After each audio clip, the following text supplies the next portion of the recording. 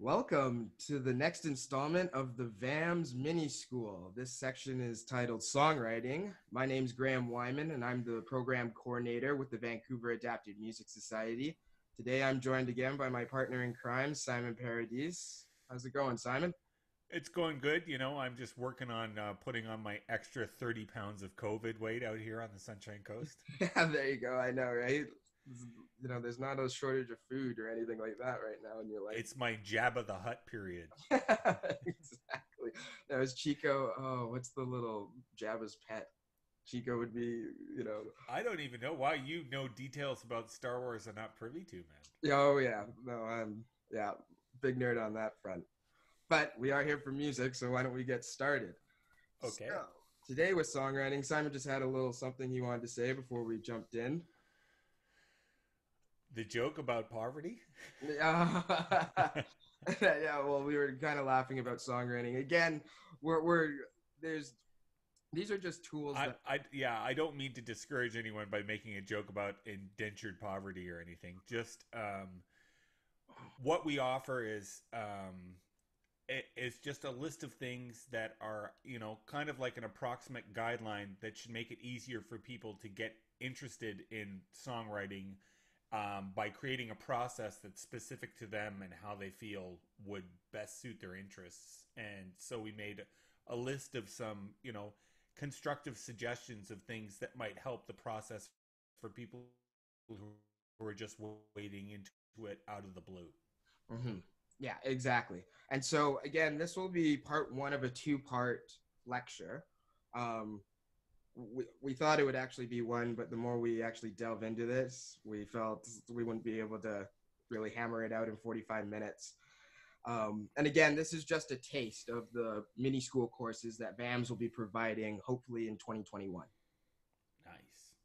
So, part one, I guess the main thing that we kind of thought to start with is, you know, you, we want to get people or songwriters to ask themselves to write or ask them ask the right questions.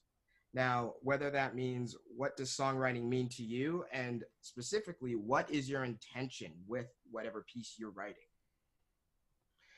So that I mean, again, we feel with songwriting, I mean, if you're somewhat disingenuous about what you're writing about, it's going to come across probably in the music, first and foremost.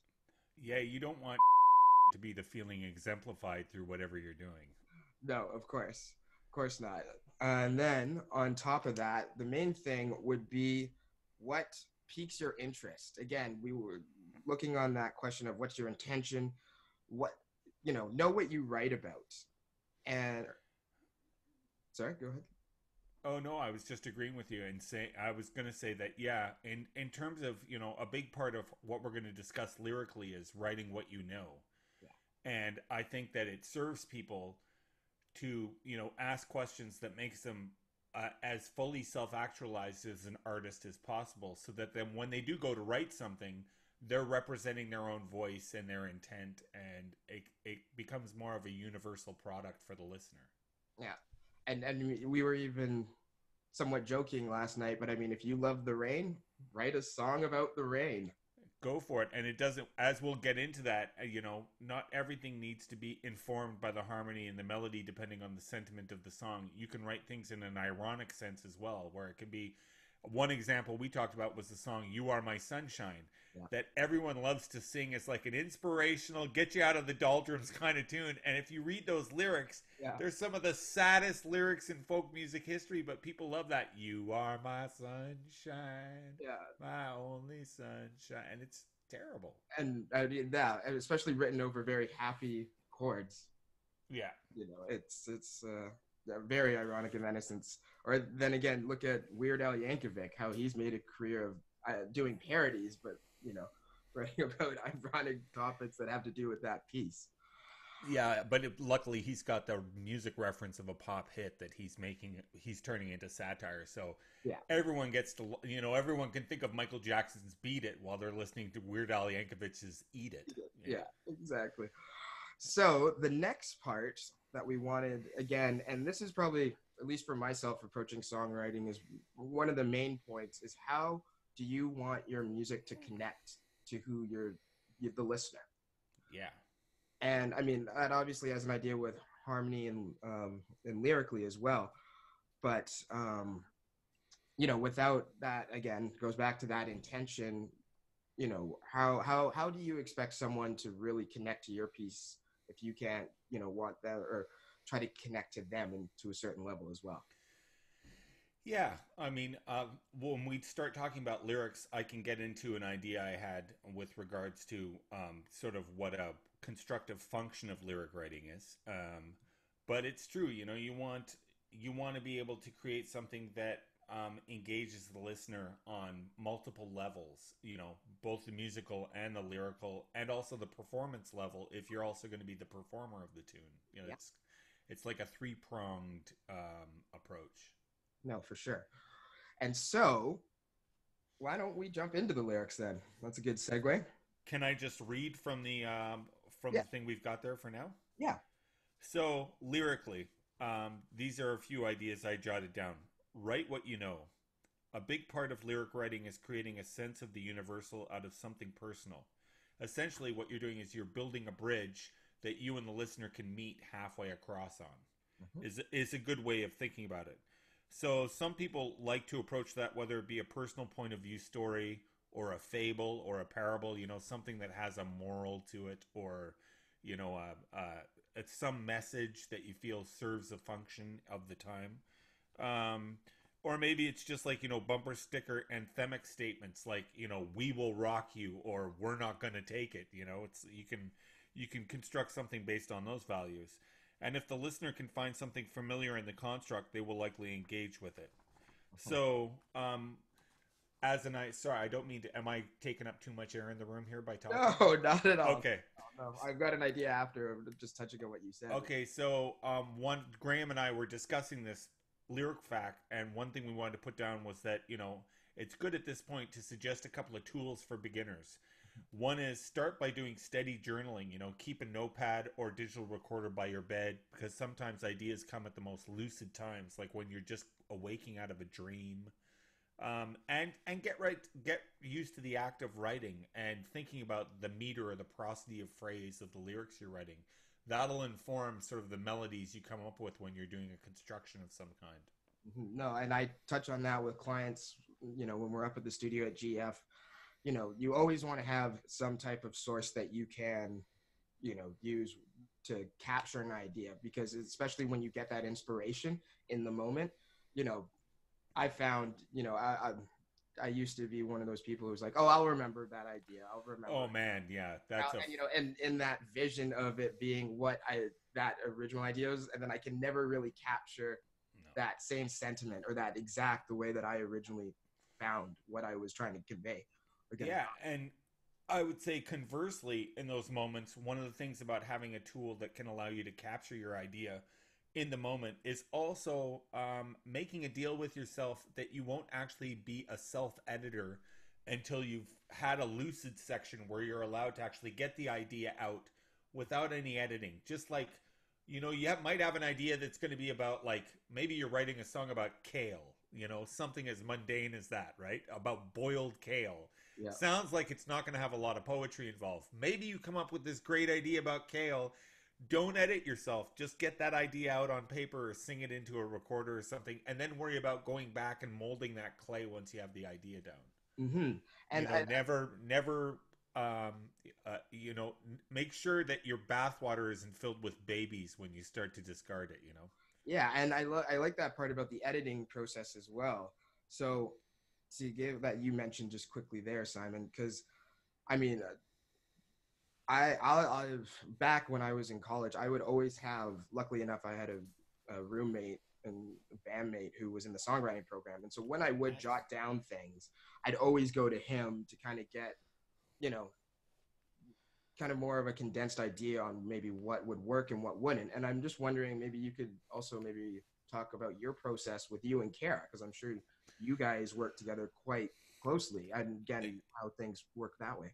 Yeah, for sure. Well, you know, my last two CDs, I would, uh, well, my last three CDs, um, which I, I, wasn't really doing a lot of writing until I had my accident and landed in a wheelchair. And uh, I, as Graham has mentioned, my partner, my wife Kara Stanley, is herself a very successful writer and has written both fiction and nonfiction, and a lot of great, oops, sorry, a lot of great song lyrics.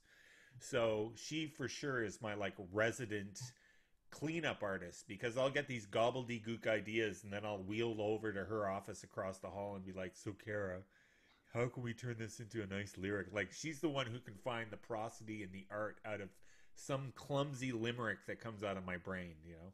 Yeah, so again, that's a tool, you know, don't necessarily pigeonhole yourself where you have to do everything yourself. Yeah, actually no, that's true. You know, I mean, it's uh I think it um a lot of people nowadays in the industry uh, feel the burden of having to be like the do-it-yourself guy on every level. So you know, there's a lot of CDs that are coming out by independent singer-songwriters where they're the the performer, the writer, the engineer, and the producer. And in a weird way, once you get to the end of that process, in those cases, even if the person is a really talented writer and musician or a strong singer of some kind, you do feel like at the end of those albums, like you're looking into an aquarium of all the same species of fish. Mm-hmm. You know, and you don't get that like music. I think the essence of music for me has always been the an art form that can be made pliable by multiple people in time all at once. You know what I mean? You can have a band of five people that are sharing musical ideas in real time and developing amazing things that you yourself with your own two ears wouldn't have stumbled across had you not had like the synergistic um, spices that come with other people's inclinations you know? And i think that a large part of you know creative fulfillment and individuality comes out also of being able to let go of you being the only person who can inform anything and be able to deal with having other people kind of you know help you mold your clay. No and just reiterating that point, like the probably the most creative time I felt was again back at this band that I was with that I was kind of, you know, pushing, but right. it was more of um, you know I wanted everyone's input from. The oh yeah, and I think that bands, when everyone in a band feels like they're actually a contributor to the creative output, I think bands have a generally you know more life to them, you know, as opposed to just supporting one artist or one kind of process of songwriting and they're invested. yeah, exactly. Yeah, yeah. totally. I mean, I'll just give an example, and uh, you know, look at what happened to Pink Floyd. Look at what happened to Pink Floyd. You know what? You know, yeah. I hate. I mean, one of my favorite groups, and so much respect for Roger Waters, but he kind of tore the heart and soul out of the group, and you know, therefore he left. You know, and then the band actually got back together after he left. yeah, the, the, band was able to retain the name. It was pretty contentious. I think there was a lot of legalese that went into David Gilmour and company being able to retain the name. Yeah. So again, that that just re- goes back to that point. Uh, if, again, if it's your project and you see it that vision that way, and you know exactly what you want, that's fine. Yeah. But I've just found personally that the other option works a lot better as well. Yeah, and I think it teaches you certain skills as an artist where you're comfortable making yourself feel a little bit more transparent and vulnerable. Mm-hmm. You yeah. know, and and I think that's an important thing for performers. You know, if you want to get up in front of a crowd and sing your song or play your tune, then I think you know you need to make yourself emotionally available for the people who are going to watch, and being able to actually you know consult with others and have a sense of democracy around the output of a given piece of, of music is an important skill. It teaches you a lot about yourself, for one thing. And it teaches you a lot of language about how to deal with other musicians in a transparent way where you can you figure out the right language for evoking a constructive addition to something you know and to be able to take and own criticism as well which is oh, very difficult when you're doing your own art well, and I mean, it's tough. I think that um, definitely musicians are a crazily self-critical type, very much like you know creative writers. I think that both both stripe of artists really drag themselves through the mud in terms of their abilities. You know, yeah. you'll very rarely meet a writer who's like, "I love everything I've written," and I, I, I bet I wager paper money on anyone who knows a single musician in their crowd who's like, I fucking love every note I play. I I apologize. You can beep that out when you're editing. yeah, no, I will. Don't worry. I've got little notes here. Okay, thank you. I apologize for my dirty mouth. No. Uh, but you know, it's like uh, I've I've spent my whole life constantly evaluating myself in the context of, well, I'm you know, there's a reason why I never had like this great takeoff professional career because you know that that would have happened had I been a better player or a better writer. You know what I mean? Like it's yeah, you set up that equivalency with yourself. Yeah. And you know, and even the best musicians I know who are like crazy talented, Mhm. those are guys I played with at jams, and they'll look over at me at some point and be like, "Sorry, man, I didn't mean to do that." And Yeah. you're kind of like, "Everything you did was brilliant. I'm not really sure what you're talking about." They're like, "No, no, no. I wanted to go for this other thing, and it didn't quite happen." You're It like, "Are you crazy? Everyone's losing their mind." I you know my jaw's on the floor. Yeah, exactly. Like those people walk amongst us. And the reason why they got so good is because they had this little voice in their head that was like, maybe that's not good enough. Yeah. Maybe that's not good enough. Like, and it's a psychotic thing to listen to. Mhm. But when it comes to writing music and composing and being an artist, you have to make sure that that voice doesn't come into the scene too quick. Yeah. You know, you want to gather ideas and resources and have them ready and available for that voice to come along and be like, I don't like that word, I don't like that note, I don't like that chord, you know, and then and then you can befriend it Mhm. and use it as a tool as opposed to making it a hurdle that you never jump over. If that voice is what starts the process of writing songs, you will never write a whole song because you're going to say something or play something that makes you go, that sucks. You Yeah, know? no, and, and the other thing too is owning that as well. Like you're not gonna be satisfied with everything you do. I mean, I'll That's take it. it. on a different level, just mixing, not necessarily songwriting, but Right. you know, when when is a mix engineer's there's there's a photos when is the mix engineer's job done, and it's a skeleton over a mixing console, right? You're never gonna, Exactly right. never gonna Yeah. be satisfied. All right, so moving on now, we've talked about the lyrical content a bit. Why don't Okay. we go into the harmony? Can I can I read off the Yeah. page again? Yeah, no, I you Simon did a Simon sent me a manifesto. I, a small novella of songwriting ideas, and I apologize. It's a Oh, great long-winded stuff. affair. No, so no, please go ahead. So harmonically, here are a few thoughts on a harmonic approach. One, use your ear as you guide. Uh, Use your ear as your guide. Sorry. How you listen and hear are the tendencies that inform your invention. If your ear enjoys it, then you should most likely develop that theme. That being said, remember our cat and mouse game. Okay, sorry, I got to back up here. Mhm. So for me, um, the uh, the whole engine of music is based on, um, sorry, something that we have as humans with ears. There's something called natural resolution. Yeah.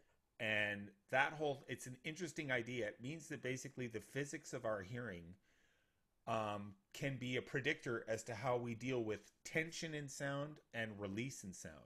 So it can be as easy as taking a look at that scale we all know from the sound of music that do, a deer, a female deer, ray, a drop of golden sun. That's the major scale.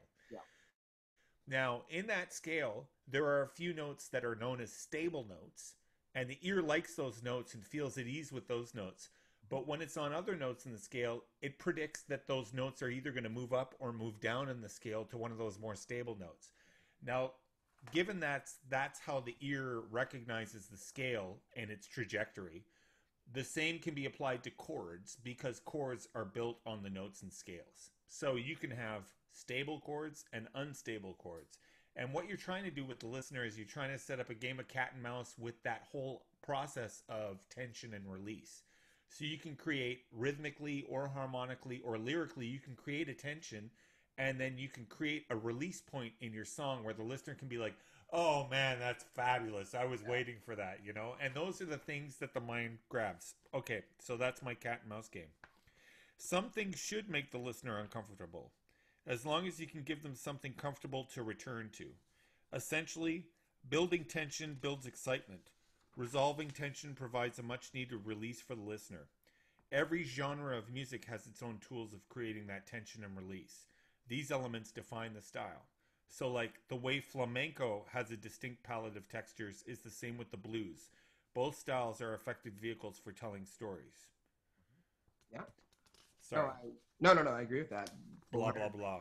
No, no, no, no, no, not at all. No, I'm just I was thinking just about um the, the again that whole idea of release because we kind of touched on that in our other mini school clip as well. So in the sense of those tracks that we were building or had tension built, and again, I think we should also point out it doesn't necessarily. I guess actually I'll, I'll, I'll save that for our form when we're coming up later. Maybe I don't Okay, want to gotcha. jump far ahead. But um, the other thing that we were talking about, and this kind of touches in with this tension building, is another interesting technique that you can use harmonically is um, there's certain bands that would actually invert a traditional chord in say a scale, and instead of having it in that traditional major chord, actually you flip it into a minor. Yeah. As well. So that again is another very interesting way of again building tension but having it released to almost a chord that you wouldn't actually think would be a release. It's Yeah. kind of adding to that tension. in a way it's like um, being more articulate with like the cinematographic model you know like when you go to see a movie and the movie has the scene where the man and woman are breaking up and maybe it's even raining outside and the guy who composes the the background music for the movie decides at this point to make it like womp womp womp womp in the orchestra. It's almost like you're putting too many layers of the same vibe on it becomes too heavy. It's like oh this is all just sadness on top of sadness on top of sadness. And i think that as graham was mentioning you know you have the ability like we were talking about earlier with the whole you are my sunshine song you actually have the ability of creating a certain amount of tension in irony with regards to the tonalities you're using and the themes of your lyrics Yeah. so you can be singing a sad song and playing in a happy major tempo that makes everyone think from a distance that it's a happy song. Or you can do the other thing where you can have a totally happy song, but it's in like a jury minor kind of thing where it's like a funeral procession and people listening to it are like, man, this song must just be about heartbreak. But really, it's, you know, it's a great declaration. No, and I've, I've had debates. We were talking about this yesterday as well. But um, I've had debates over pieces that, you know, sonically, as you said, harmonically, it's very, you know, based off a minor, very dark. But the lyrics, at least to me, are hopeful or, you know, very happy. But again, this all goes back to I think, you know, beating a dead horse here, but subjective to the listener. What does Yeah. the listener really get out of it? And and also the importance of the writer being able to use their own ear as a guide.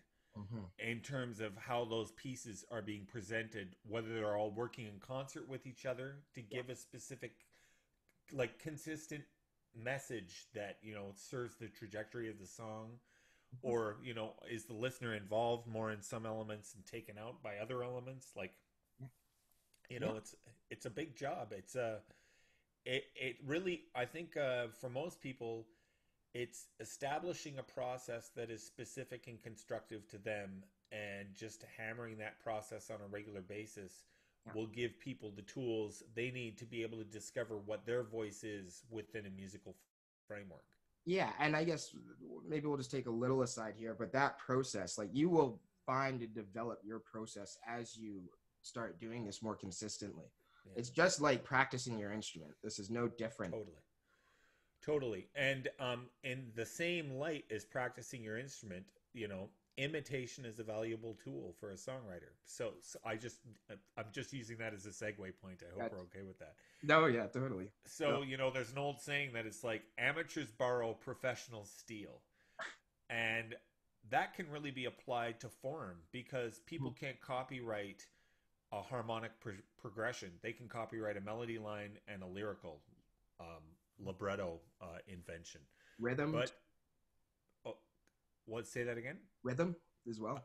Uh, well, yeah, rhythm, both harmonics and rhythm are like um, free from anyone having mechanical property rights over them. Mhm. So you can actually take ready-made chord progressions that have served for millions of songs, like the standard go-to rock and roll three-chord progression of the one chord, the four chord, and the five chord, all of them being major. Mm-hmm. And you can write a million songs going forth as long as the melody lines are your own idea you know, and lyrically you're not saying Louie Louie, you know. Yeah, exactly. Yeah, no, no, no. So no, it, again, it's I, I, always. So you don't have to. People don't have to worry about their individuality if their harmonic structure is something that they've heard appear in other contexts. Yeah. You know, and that's something that inspires me as well when I do at least you know my instrumental writing yeah, is you know I'll hear something and you know what I'll, I'll dissect it to a certain degree I'll pick out what I really enjoy out of it change things but like really take that as like almost like a stepping stone moving forward yeah, and I think that's a the very beginning And I think that's a big tool to add to the arsenal of the tools that you need to be an effective songwriter. One of them is critical listening. Mhm. You know, is being able to listen to the things you love the best and say, okay, within the songs I love the best, these are the things that I love the best within those songs, you know, and realize, okay, that's it's that four minor chord that brings me back to this tune every time, or you know, like little it, it's it's a lot like cooking, you know. There's going to be a certain spaghetti sauce that you favor over other ones, and it's going to have to do with the spices and how the process goes and you're going to find it's the same with the songs you love you know? Figure out what the spices are in the gumbo and then go to town on that And I'm going to do a little plug here for Reimagine Radio. So if you want to find out more about critical listening, there is a podcast on our SoundCloud page, Reimagine Radio. Me and uh, uh, one of my old bandmates from Berklee, or who was in the engineering program, we talked about critical listening. So if you want to find some tools and techniques, you can uh, you can go check that out. Again, it's Reimagine Radio on SoundCloud. Nice Now, why don't we jump into the music DNA? well uh, i think we touched upon this i'll read out from it but we i think we touched upon some of this stuff Yeah, But the I'll- natural resolution. Yep. Yeah, Oh, yeah. just I'll- I'll give it a I'll give it a read though. Yeah. So music DNA. A big part of all music is akin to a game of cat and mouse with the human ear. Without going into too much theory stuff, the human ear has a tendency that is described as natural resolution. It's an intrinsic preference to how tension gets resolved. A melodic example would be the simple scale we all know from the sound of music.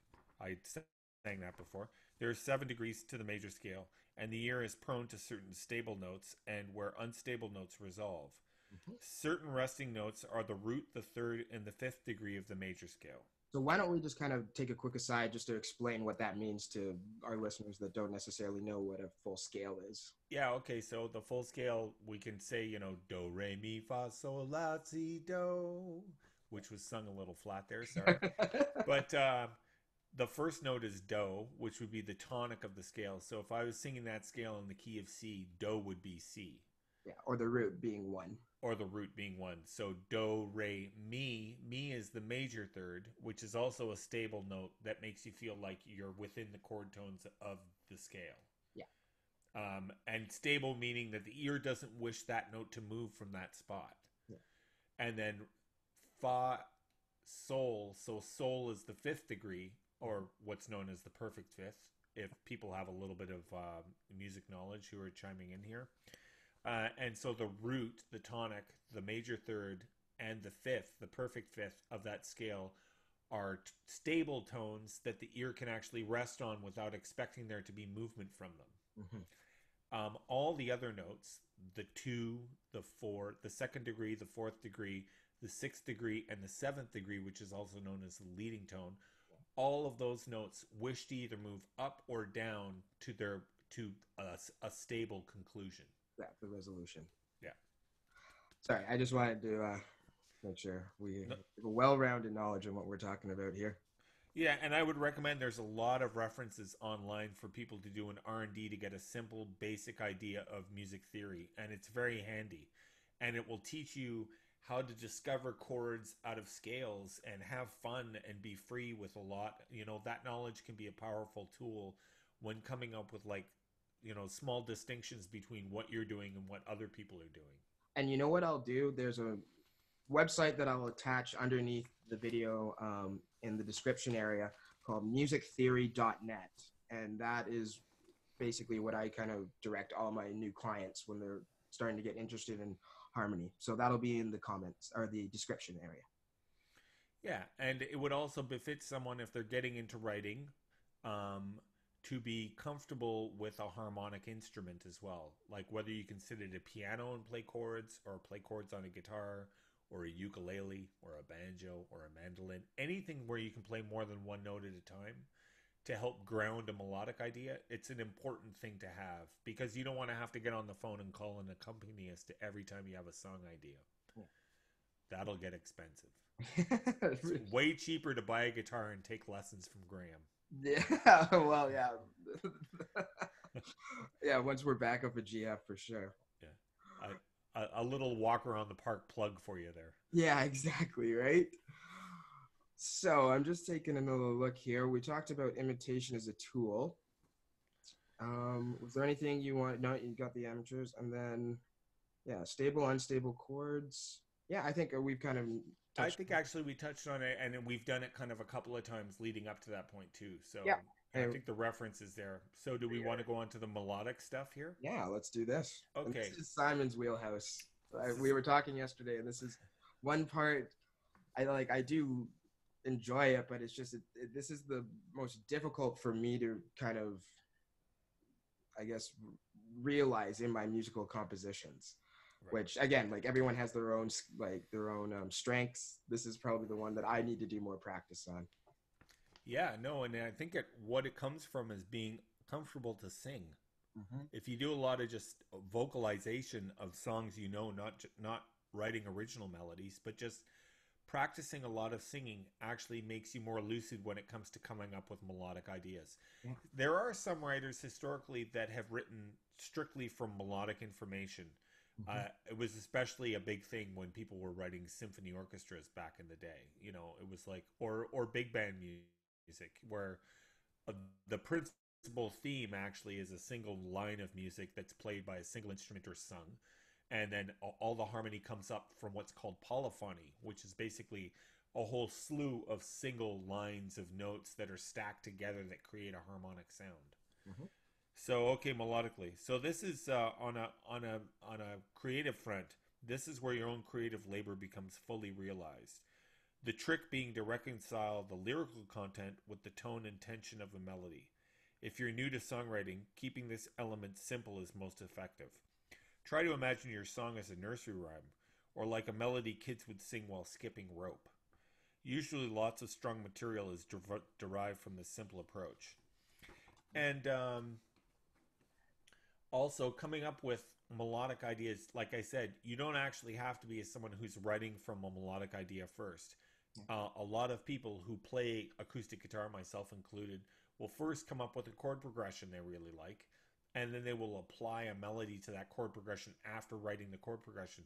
That technique is called pantonal writing and is taught in its subject at certain music schools across Canada as a way to compose. You know, where you you come up with a harmonic structure first, then you overlay a melodic structure on top of it. And I found that to be actually the most effective way for me to write. I rarely wake up with like a la la la la la la la la kind of thing going on in my head because I just don't hear music that way. I hear I hear rhythmic and harmonic events primarily, mm-hmm. and melodic things are kind of like after the fact. No, and I'm I'm with you 100% on that. I, yeah. I I've I don't think I've ever written a melody line and then not forced music over it, but you know what I where I'm coming from. I always find that the pantonal way is much more well again, it's where my ear gravitates to first, like you mentioned. Yeah, and even when I get to that point in the process, like where I've written a chord progression and then I want to sit down and try to figure out how I can get some lyrical overflow going. I rarely think of the melodic thing at that point either, and I'm more interested in the rhythm or the prosody of the phrase of words.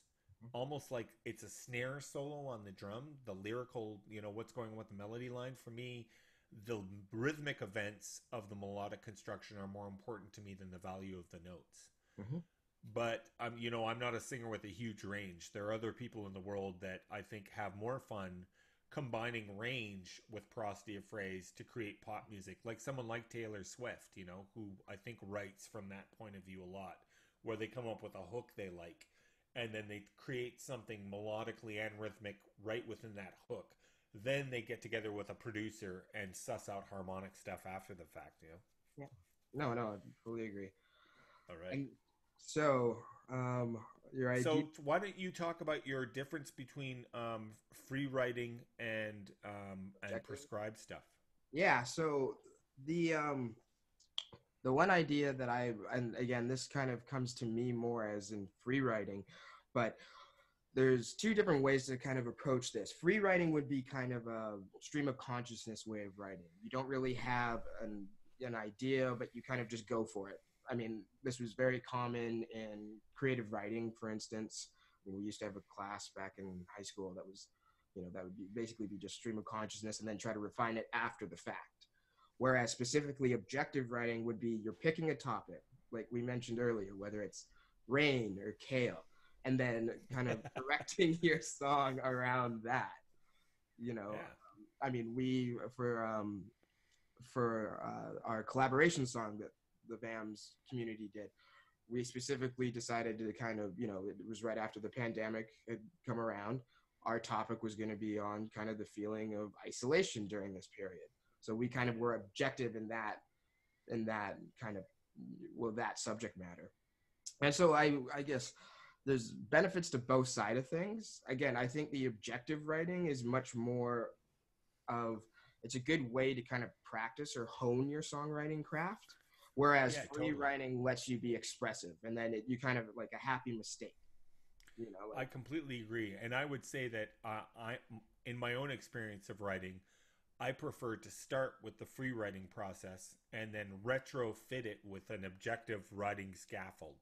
mhm. You know, so I'll you know, and I think that back in the day, like I think, um, you know, when when pop music stopped being the realm of uh, the Brill building and people like prescribing formulaic kind of constraints to music. Yeah. Um, and uh, someone like Bob Dylan came along writing songs, which had a lot of like free, um, uh, uh, I guess, uh, free improv, you know, stream of consciousness kind of ideas. Yeah. Those were ideas that were prompted by poets at the time. You know, I think it was a lot like Allen Ginsberg would have, you know, written in a free flowy kind of way and then gone back and refined his invention to get to something like Howl.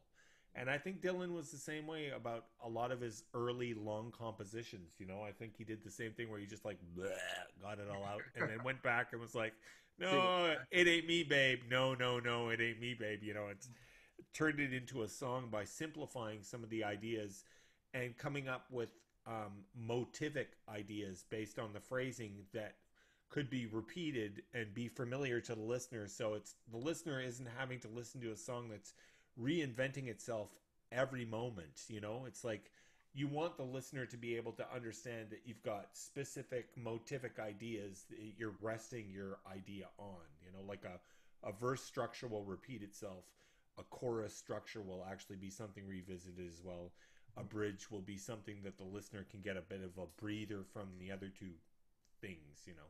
Yeah. I'm, I- I'm sorry, I'm going getting tangential. no no no no up. not at, no no not at all no it's those are all very valid points i I I'm just um, i also wanted to make i guess a distinction with the free writing versus objective at least this was this is my process which people can either agree with it or not but what i found really works for me is again i would come up with the harmonic content first and rhythmic and then it's funny because that'll actually inform if i'm going to do say like free writing or objective writing and there can't be a combination of both because Yeah. I mean, one piece that came to mind, it was more again kind of a darker piece, and then it's kind of I don't know why it popped in my head, but that it, it became objective by talking about you know media. You know, Right. that's that was kind of my conscious, you know, that it fit the mood I felt for the piece. Yeah, exactly. You know, you can I think I think the I think writing a song all the elements can kind of cross pollinate with each other and influence other elements. Like if you start by writing chords, um, the chords you choose and the rhythm might influence the idea that you do your free writing on because it evokes a certain emotion in you. And then maybe your melody gets informed by that story. Yeah. And then maybe you actually go back and change a couple of chords because now you've actually evoked certain things that have led you back to say, nah, that chord doesn't really do it justice. Like, and then at that point you can go and you can refine all the other elements. You know what I mean? It's like domino is always kind of the snake always eats Yeah. its own tail Yeah. when you start writing a song, man. No, so that yeah, I think again, there's like it's subjective on which way you want to go about it, but it's always Totally. ever changing, and that's the thing about songwriting as well is that it's not like I, I, it's very rare. I think that you kind of have. I mean, and it does happen. Like the song that comes to mind is Neil Young's "Ohio," where I guess he wrote that, and within two days they had it recorded, and I think Yeah. with, like less than a week it was out on the radio. Yeah. But as as kind of like a visceral protest to what was actually going on in in the states with Yeah. regards to sentiments towards the Vietnam War. War. Like, so it was yeah. So I mean, it can happen like that, but I mean, it's an ever-changing beast. It's not like, I mean, Yeah. most unless you know, there's certain people that can do it that way, but yeah, it's not. and like, I'm pretty sure that within the process of Neil going through all that, I'm sure he had set phrases at the beginning that he was hinching everything on, like "four dead in Ohio," Yeah. and maybe he wrote something that was fast at first and had to slow it down to get to the point where the prosody of phrase worked for his lyrics. Mhm. You know, and maybe you want it heavy and rocky. Maybe it was a bit too light at first on the acoustic guitar maybe when they got to the studio and started playing things the production values started influencing you know the tempo and the choice of things for harmonies in the chorus and stuff like who Yeah. know like everything informs everything else it's kind of the beautiful thing of how amorphous songwriting is you know everything e- everything can everything kind of holds its own veto in the moment depending on what you gravitate towards Mhm. yeah, no, and evolving all the time. So, I guess do we also want to talk? I guess that we were going to talk a little bit about ear training at the end here. yeah when it Uh, informs yeah the melody so again this is another tool to kind of help you in your process i guess this is more of a tool than specifically dealing with melody but um, ear training for myself um, w- ear training again and this is probably why maybe i have a bit more difficulty with writing melodies is it, it, it didn't come naturally to me i always have to work at it and you know i when I was in school, we had ear training courses that, you know, if, if it was something where I had to study equations or know about signal flow for mixes or critical listening, things like that, that was always easy for me. I'd study for hours on my ear training if I had a test the next day because I was just not as confident about that area of my musical Right. ability.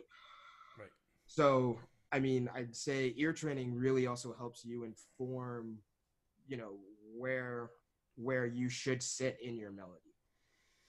Yeah, and I think that it also, um, if you build that muscle up in your ear, it allows you to be able to fully realize ideas that maybe you're hearing certain things out of the blue without, you know, prescribing them to harmony or melody at that point, and it allows you a chance for your ear to tell you where you should be going in that regard. If you can, if you're good with hearing intervals or the textures of certain chord values and things like that, like you know immediately, you're like oh, I'm hearing a minor chord, or I'm hearing a major chord, or I'm hearing a, a dominant chord. Like being able to make those distinctions to yourself as you're sitting there trying to pound out something on the fretboard on your guitar. Yeah. You know, you kind of. I've had an instance. Funnily enough, I um, I wrote a song called um, "Pain in the Night" when I first got out of uh, rehab, and it took me years after writing that song to realize that I had I had been neglecting the chord that I was really hearing in the um, the B part, Okay. which was uh, it was played as a minor chord for most of the song, except in that one moment in the B part where he needed it to be a major chord, okay. and it it it totally was like counterintuitive. You know, I I wouldn't have arrived there with a sane mind had I been just thinking of the math of harmony.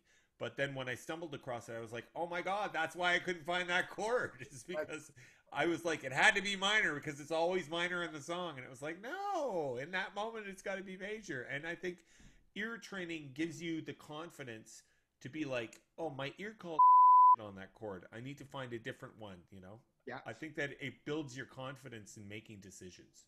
Yeah, and so that's again it, like what we talked about earlier. Necessarily, like you can invert the chord to what you would naturally expect it to be. Right, exactly. Or add extensions that give it a whole other texture than what you initially bargained for. You know, you start adding 11ths and 13ths and 9s and like Yeah. things get crazy. Yeah. You know, piano players have an easier time with that because the piano is more tempered. But Yeah. I got to stop swearing when we do these shows. no way. I know you keep writing it down. You're like bleep there, bleep there, bleep there. Hopefully, people will enjoy a little bit of sandpaper with their learning. I know, right? No, I, we just got to be PG with everything, right? Sorry, man. Oh, don't worry, don't worry. So, okay, we've talked about that. Oh, and I just want to touch on. So This at- is an important lesson. Even the disabled swear. believe it or not, right? It's a it's a little known. It's a myth that's now a fact. Acquiring a disability is not a purity test. so the last thing that I'm going to touch on with the ear training is another resource that I'll put in on um, I'll put in uh, in the comment section is there's a website called Tone Dear Nice. that I again um, I work with with clients up at GF Strong and even just for myself as a musician it's a great resource just to kind of you know they have naming scales chord progressions you know um, even if it's just you know triads different triads major minor diminished augmented um, it's really just a great resource that actually is in the last I've really been kind of using it a bit more in the last couple years and it's i can tell it's actually improved even just my ear in general for hearing things. And even you know using whatever instrument you have, um, if you can keep it tuned. No, seriously, it's an important distinction. Not everyone knows. know, I you know. know, your piano will stay tuned for the most part, but you're gonna have to tune a guitar or a ukulele on regular basis. oh yeah But using those as references to practice singing to. Yeah. You know, creating little melody lines and then singing along with them and listening to the note values and seeing, okay, am I singing that correctly? Is that the space that I want between those two notes? That just helps the tools that you have available to you for getting good ear training done, you know? right so i think our last section that we're going to talk about today and i alluded to it a little earlier to in the session but form Form.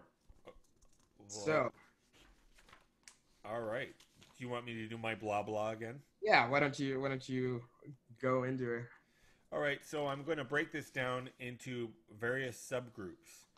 Um, I would say that when we're talking about writing songs, we're talking about creating structures that are modular, meaning that they're their own kind of constructs that show up in the song and repeat themselves and distinguish themselves from the other sections. And we give these titles like the verse is, you know, the the verse part of a song the chorus is the hooky part of the song that you kind of you know always go back to in your mind.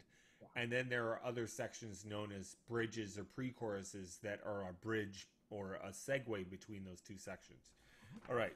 That being said verse verse structures. This tends to be the this tend to be the forms of the song where the majority of the story is told so you know if you have kind of a yarn you're trying to get out there about a guy that gets in his car that drives to another country and builds a house and has a family and grows a thousand years old or whatever that story is going to require many verses to be able to get that story out in a way that's poetic and engaging for a listener. Hmm. Chorus. These become where both a lyrical and melodic idea are fully realized for the listener. Often the libretto here is what one might call anthemic or the hook both a strong lyric and a melodic motif that listeners gravitate towards. You know that thing that you might find yourself humming after you hear a song you like. Mhm. I mean, we could come up with a million examples of that. Graham, go for it. What are the hooky choruses that you have in your brain? Well, the one that came to mind, and it's mainly because we did it for the dissecting hit songs, but the um, Miley Cyrus track, "Wrecking Ball," at Right. that end there, right? As we kind of analyzed that a lot, that was the And- first one that came to mind. As it jumps up that octave. I came Yeah. in like a wrecking ball. yeah, It, yeah, it needs the clutch fist rock singing. yeah, the anthem. the Yeah, anthem. exactly. So yeah, that I mean, I mean, yeah, we will rock you Yeah, or even you know, all in all, you're just another brick in the wall. That's like that. That's hammered home as well. Or you know, um, any of the Monkees music or Beatles music. You know, Twist and Shout or Norwegian Wood or I mean, pretty much Something everything on all their albums. Yeah, Something in there. yeah. They always knew how to get the hook in. Oh yes. Yeah. All right. So, um, an interesting saying that is used in formulaic writing, especially in places like Nashville, and the myriad of independent singer songwriters that inform the pop milieu, um, is don't bore us, get to the chorus. So, if you're writing a long yarn about stuff, you know, don't make it like, you know, something from don't make it like the Iliad by Homer. You know, like you need to actually there needs to be something that the listener can return to that's repetitive motivically that grounds them within what the uh, you know the desired meanings should be for the listener against the construction. So you know you want to have like a verse at the beginning, then play your chorus so that the listener gets to hear the landscape of the devices you're going to be using and then you can manipulate those two things to get the desired kind of tensions and releases that you want going forward you know Now, an interesting distinction though that we should make too is that some pieces actually start with the chorus that's true to begin with. So it's even you know they they might even just hit you with it right away yeah instead of you know even waiting a verse or an intro as well. Yeah definitely there was a lot of that going on in the 80s Mm-hmm. Yeah. Yeah, I'm trying to. For some reason, off the top of my head, I can't think of one. well i would say that uh, probably a great example of that in out of the 70s punk movement would be the ramones i want to be sedated that Right. comes out right with 20 Right. 20 24 hours to go i want to be sedated Uh, and yeah, that's basically the chorus idea you know yeah, in and out and like how long is that song? Like two minutes and twelve seconds. maybe Yeah, I know. I, I, remember reading a show that, uh, or reading about a show that they played, and they were done in like their whole set in 20 minutes because they like Oh, sped everything up than what they were actually going to play it at. So, Yeah. just funny. Little aside there. And yeah, so I mean, I guess it just it really depends. And again, I guess it's also this intention on what type of piece of music you're writing as well. Like again, if you're going for that very radio friendly hit, get to the chorus quickly. But in the back of my head as well, and I'll again I'll use this as an example. But look at um, Pink Floyd's "Shine on You, Crazy Diamond." right you know, there's like a good like seven minutes of just solos and yeah, things at the beginning. yeah there's like s- seven different sections to that song right yeah, exactly. So it's now- an epic so and once again um if sorry i'll just reiterate that um stylistically in terms of what kind of um form you want not talking even about the chords but the way you put the form together of the song there are a lot of tried and true formulas that people have adhered to over the years. Back in the early broadway blues kind of jazz um, musics of you know from the 20s up through the 60s one could say that the form relied on uh, something called AABA, which is essentially verse, verse, um, variation on verse or chorus, verse as a structure, um, and then that that kind of um matured into something more complex once people like the Beatles came around, and then you were getting like verse, verse, chorus, verse, chorus, bridge, verse. Like, um, you know, there were all of a sudden these middle eights and these pre-choruses and bridges and stuff that people were using, and it was like, where's, you know, it wasn't, it wasn't as laid out as just like the way someone would sing Misty in a jazz band, you know. Yeah. No, the form and it evolved too. And you know, you can even have a D part, like an A, you know, A, B, C, or like D, like even another like outro that's totally different than anything prior that you've heard before.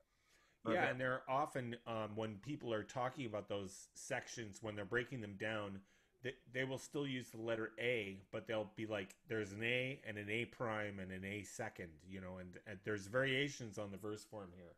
Yeah, and think- then, so the again, I will touch. I again briefly mention this, but so I guess there is an art to writing a two minute and thirty second song, three minute song versus a seven minute song. Yes. But also, just to give listeners examples, you can actually have, say, a seven minute song and then do what's called a radio edit and cut that down into what is a you know two and a half three minute song. An example um, that I have is from you know a band called Death Cab for Cutie, and um, my heart shall go on. I think that's the track or something around that. But regardless, it it's actually like a seven minute piece. It has a beautiful Right. piano opening, then kind of like a different kind of variation on that piano outro. But you know, the the one that's on the radio is two minutes and thirty seconds. You know, it goes Right. right, into the piece. I think it's like you get the last four measures of that piano kind of interlude, and then Right. you're right into the verse. Right, right, yeah, exactly. I even think that uh, you know, there through history, a lot of the bands that created songs that were on a long playing LP, the hit 45 single that was made for radio play was a different edited version that was usually less than how it appeared in the long playing vinyl. Mm-hmm. Yeah, yeah, and you know that that's, and I guess just if if you're, you don't necessarily need to pigeonhole yourself to writing something that short. Even if Yeah. you go that, you can edit your stuff down as well, be Yeah, more and- commercial friendly. And I find even um, talking about the process of doing original singer songwriting is that when I'm recording a CD, usually when I get to the mixing part, I'm still writing the song. Yeah. And there'll be moments where I'm listening back to the play and being like, well, can we take that whole chorus and actually change where it is, or move that bridge, or cut that guitar solo in half, or just do a half a verse in that section? And it's a great editing tool for you know sculpting out an arrangement you prefer even if it means you might have to go back and re-record certain parts Mhm. it's great to use it it's, you can be in writing mode all the way up to when you decide to master Yeah, yeah, no, exactly. Oh, I, I remember working on your project. I remember Paul. I think he wanted to take out. Can't remember what part of what song. right I think it was the spill, maybe, or I can't remember. The spill was a nightmare to hobble together it was really tough that was tough i couldn't i couldn't get comfortable with any of that you know yeah. It Yeah. was weird. It, the, I mean, what it finally appeared on the CD was uh, a great deal of editing that both you and the person who mixed the record had to go through to make that thing stretch an extra beat during one section without sounding like the band was drunk. Yeah, that, that was Dave. David was that the mix engineer? yeah, David J. Taylor. Yeah, wait, wait. All right. Well, I think we'll probably cut that off here for today. So you know, we'll leave our listeners wanting more because we're not done yet. we're not We're done. not yet. done yet. Yeah, So the sorry. no, no, go ahead. No, so um, we'll uh, we'll have to stay tuned for the part two of songwriting. Uh, it should be out probably in the next couple weeks after this one is released. But uh, thanks for joining us, and thank you for you know giving all your insights into songwriting, Simon. Oh man, thank you for having me, Graham. And it was fun to kind of get together and kind of work on this with you. I look forward to our final installation. Yeah, that'll be great. All right.